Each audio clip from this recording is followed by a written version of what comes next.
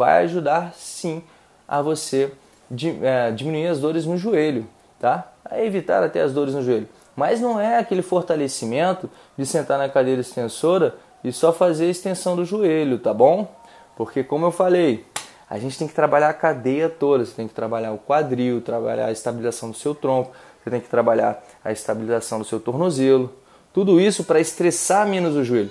Porque você lembra que o joelho, a ação do joelho é a extensão do joelho e a flexão, né? Então é essa ação do seu joelho. Porém, é fazer isso isso. Porém, na corrida, se esse aqui estiver instável, ele tende o joelho para o lado e o joelho para o outro. O quadril da mesma forma. Se você pisa para cá, para cá, acaba forçando o seu joelhinho mais para cá. Essa forçadinha de lado no joelho, tá? Vai forçar o seu joelho. E não é fortalecendo esse músculo que faz isso que vai deixar ele desgastar menos aqui no colateral lateral, no caso aqui do exemplo que eu estou querendo sugerir a vocês, tá bom?